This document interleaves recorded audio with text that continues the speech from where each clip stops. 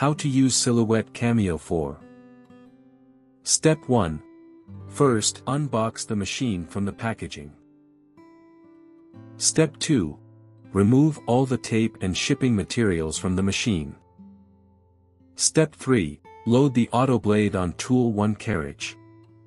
Step 4. While inserting the auto blade, lift up the tab with one hand and use the other hand to press down the auto blade. Step 5. Then push the tab to lock it in place. Step 6. Next, download and install Silhouette Studio on your system. Step 7. Go ahead and plug in the power cord to the machine and connect it to the computer via a USB cable. Step 8. Press the power button to turn it on. Step 9. It has a backlit touch panel on the right side to load and unload material. Move the cutting mat, position the tool and connect with Bluetooth. Step 10.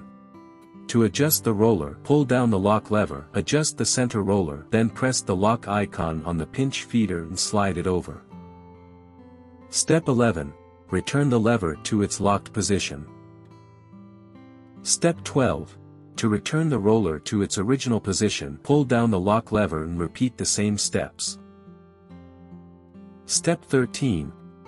To load material, adjust the roller, pull out the built-in roll feeder, insert the materials and press the load button. Step 14.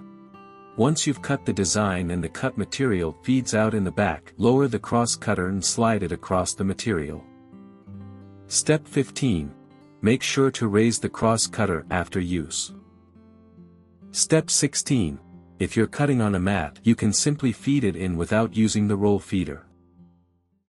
For more such help and information, visit us at www.mannymaker.com or call us at plus 1 786 866 5932 plus 44 020 3983 0480.